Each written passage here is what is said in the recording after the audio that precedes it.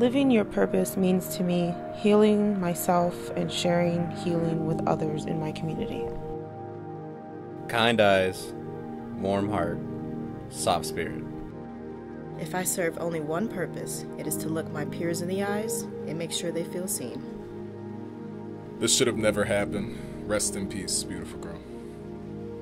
My intention is to find and connect with those who have the vision so we may no longer walk alone.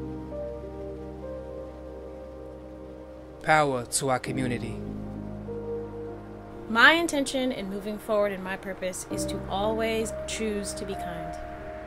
I intend to remain present, grateful, and courageous in my pursuit to liberate voices, minds, and bodies.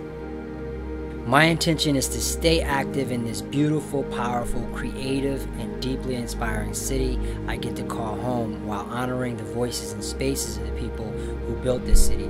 I will continue to learn about Oakland and say its name with love. Justice for Nia.